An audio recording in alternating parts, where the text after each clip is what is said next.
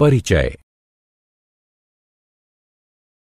प्रदीप, इस इमारत को देखो। हाँ यह इस इलाके की सबसे ऊँची इमारत है। इमारत के ऊपर उस झंडे को देखो। हाँ यह बहुत सुंदर दिख रहा है। क्या तुम जानते हो कि हम इस इमारत की ऊंचाई और झंडे की ऊंचाई आसानी से ज्ञात कर सकते हैं? नहीं, सच में? हाँ हम ऊंचाई और दूरी मापने के लिए त्रिकोणमितीय अनुपात का प्रयोग करते हैं। आओ, मैं तुम्हें विस्तार से बताता हूँ।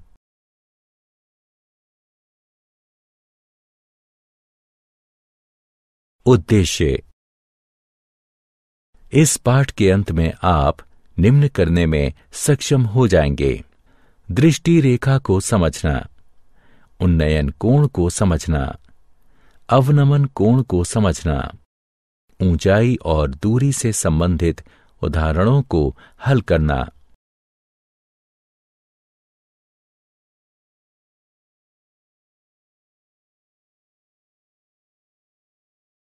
उन्नयन कोण। कई बार हमें मीनारों, पेड़ों, इमारतों की ऊंचाई और लाइट हाउस से जलपोत की दूरी, नदी की चौड़ाई इत्यादि ज्ञात करने की आवश्यकता होती है। हम उन्हें पूर्ण शुद्धता से नहीं माप सकते, लेकिन हम त्रिकोणमितीय अनुपातों की सहायता से उन्हें ज्ञात कर सकते हैं। उन्नयन का अर्थ होता है उठना या ऊपर जाना। उन्नयन कोण क्षैतिज स्तर और क्षैतिज स्तर से ऊपर स्थित वस्तु की दृष्टि रेखा के बीच का कोण होता है। आइए इसे समझने के लिए एक उदाहरण लें इस चित्र में एक प्रेक्षक इमारत की छत पर खड़ा है और क्षैतिज रेखा पर एक चिड़िया को सीधे देख रहा है। प्रेक्षक को हवाई जहाज़, जो कि एक त्रियक रेखा में है, उसे देखने के लिए अपनी आँखें उठानी होंगी। इस रेखा को दृष्टि रेखा भी कहते हैं। इन दोनों रेखाओं के बीच बनने वाले कोण को उन्नयन कोण कहते हैं। अतः उन्नयन कोण क्षैतिज रेखा और क्षैतिज रेखा से ऊपर स्थित किसी वस्तु को प्रेक्षक की आँखों से मिलाने वाली रेखा के बीच का कोण होता है।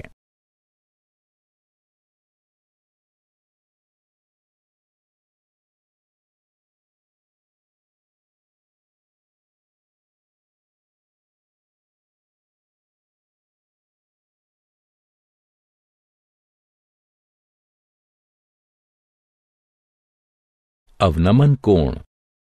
अब ऐसी स्थिति की कल्पना कीजिए, जिसमें लड़का किनारे पर खड़ा हो और नीचे नाव को देख रहा हो। यहाँ दृष्टि रेखा क्षैतिज स्तर से नीचे है। अतः दृष्टि रेखा और क्षैतिज स्तर के बीच बनी रेखा को अवनमन कोण कहते हैं। अतः किसी बिंदु से क्षैतिज स्तर से नीचे स्थित किसी वस्तु का अवनमन कोण दृष्टि रेखा और क्षैतिज स्तर के बीच बनाया कोण है। उदाहरण, एक। आइए अवनमन कोण और उन्नयन कोण को अच्छी तरह समझने के लिए कुछ उदाहरण हल करें। एक खंबे के आधार से 18 फीट दूर एक बिंदु से उसके शीर्ष का उन्नयन कोण 48 डिग्री है। तो खंबे की ऊंचाई ज्ञात कीजिए। आइए पहले स्थिति की कल्पना करें। मान लीजिए कि खंबे की ऊंचाई x है। त्रिभुज ए बी सी से टेन 48 डिग्री बराबर है, x बटे 18 के। ये इंगित करता है कि x बराबर 18 गुणे टेन 48 डिग्री, x बराबर 18 गुणे एक दशमलव एक एक शून्य छ एक एक्स बराबर उन्नीस दशमलव नौ नौ एक शून्य दो। एक्स बराबर बीस। अतः खंबे की ऊंचाई करीब बीस फीट है।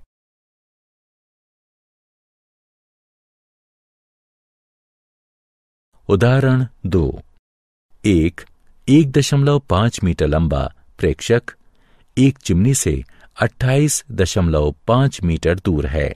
उसके नेत्र से चिमनी के शीर्ष का उन्नयन कोण 45 डिग्री है। तो बताइए कि चिमनी की ऊंचाई क्या है? हल, यहाँ ए पी एक चिमनी है, सी डी प्रेक्षक है, और कोण ए डी ई उन्नयन कोण है। इस स्थिति में ए डी ई एक त्रिभुज है, जो ई पर समकोण है, और हमें चिमनी की ऊंचाई ज्ञात करनी है। हमें ज्ञात है ए बी बराबर ए ई जमा बी ई बराबर ए ई जमा एक दशमलव पाँच और डी ई बराबर सी बी बराबर अट्ठाईस दशमलव पाँच मीटर है। ए ई ज्ञात करने के लिए हम एक त्रिकोण मिति अनुपात चुनते हैं, जिसमें ए, ई और डी, ई दोनों शामिल हैं। आइए उन्नयन कोण का टेंजेंट लें। अब टेन पैंतालीस डिग्री बराबर ए, ई बटे डी, ई अर्थात एक बराबर ए, ई बटे अट्ठाईस दशमलव पाँच। अतः ए, ई बराबर अट्ठाईस दशमलव पाँच होगा। इसलिए चिमनी की ऊंचाई ए, बी बराबर अट्ठाईस दशमलव पाँच जमा एक दशमलव पाँच मीटर, जो कि बराबर होगा तीस मीटर के।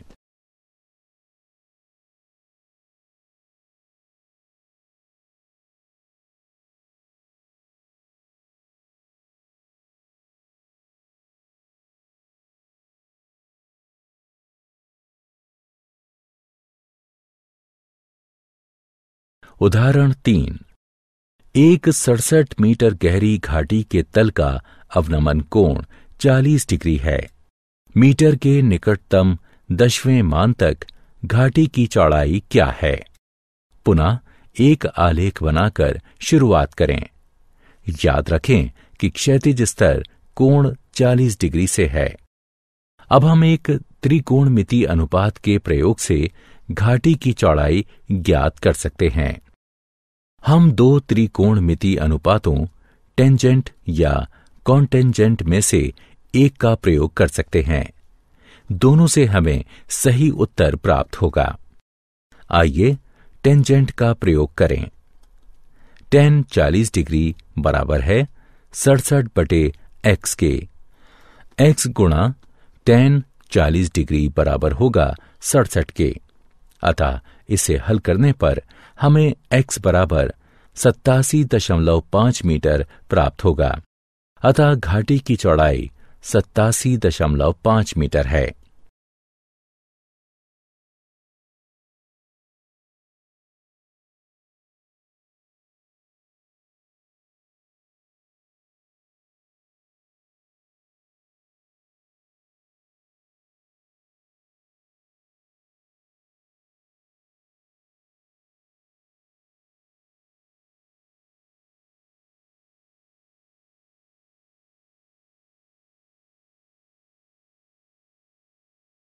उदाहरण चार।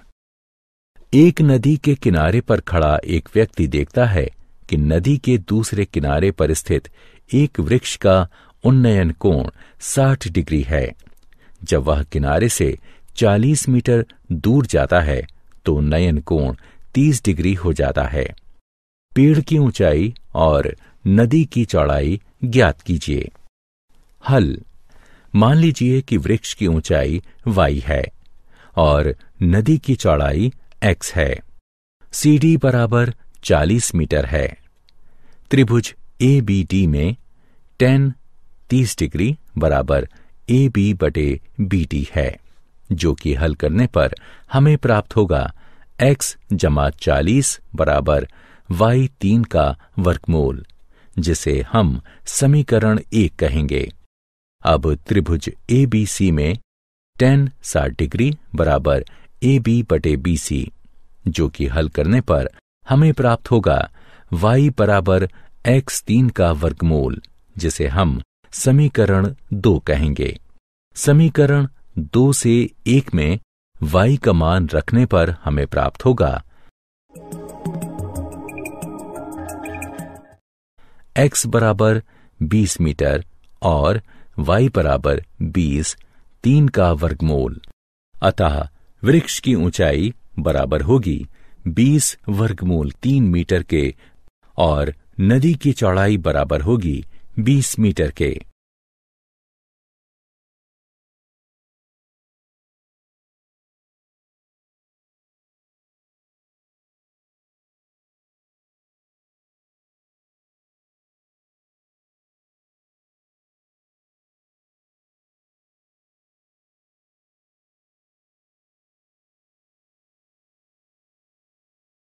उदाहरण, एक बहुमंजिला इमारत के शीर्ष से एक आठ मीटर ऊँची इमारत की शीर्ष और पाद पर बनने वाला अवनमन कोण क्रमशः 30 डिग्री और 45 डिग्री है। बहुमंजिला इमारत की ऊंचाई और दोनों इमारतों के बीच की दूरी बताइए।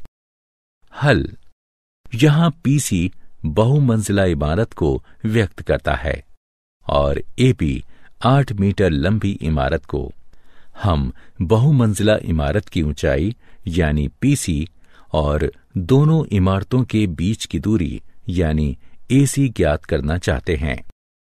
इस आकृति को ध्यान से देखिए।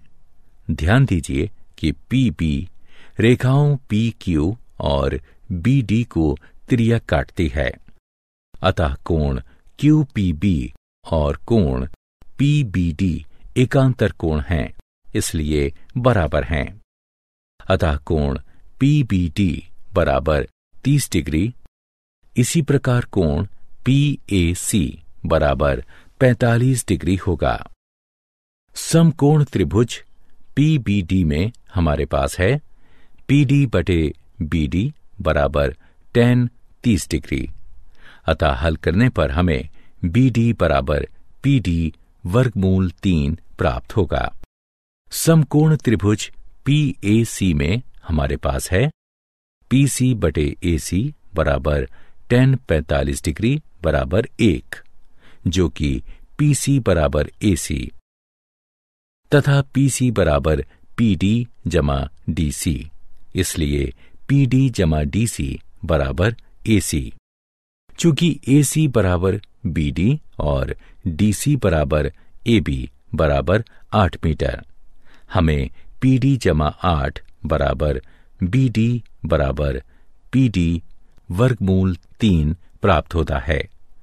इससे हमें यह प्राप्त होता है। अतः बहुमंजिला इमारत की ऊंचाई चार गुणा तीन जमा तीन मीटर है। और दोनों इमारतों के बीच की दूरी भी चार, तीन जमा तीन मीटर है।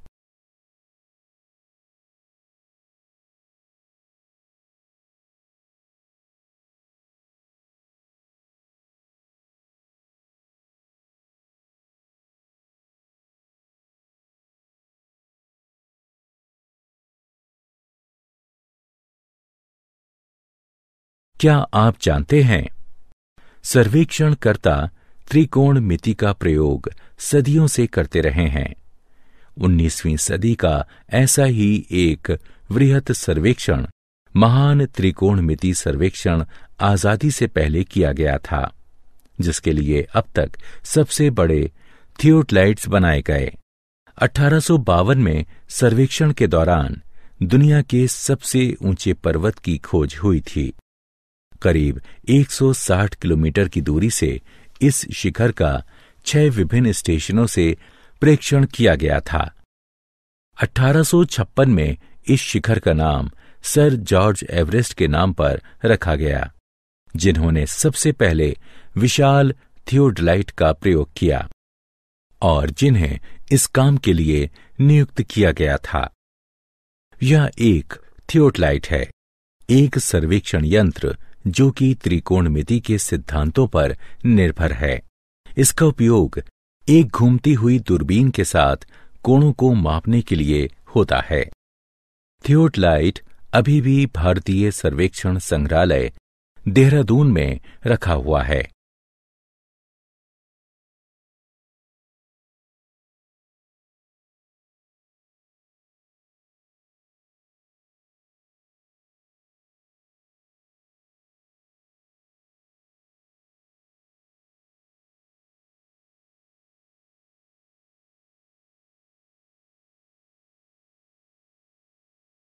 सारांश। आइए हमने जो कुछ सीखा है, उसे संक्षेप में दोहराएँ। प्रेक्षक की आँख और प्रेक्षक द्वारा देखी जा रही वस्तु के बीच बनने वाली रेखा को दृष्टि रेखा कहते हैं।